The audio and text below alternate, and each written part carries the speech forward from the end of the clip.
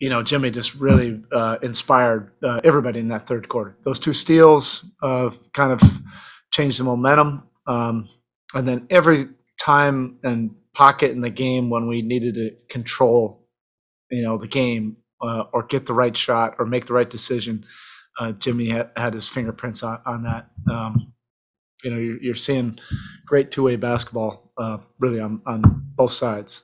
You know, he was lined up against a, a great player, you know, the entire game.